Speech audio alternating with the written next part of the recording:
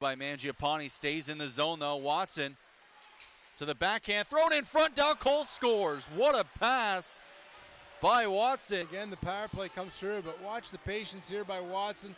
Look at this kind of pass How'd he see right him? through a bit of traffic, and again, got eyes in the back of the head. They must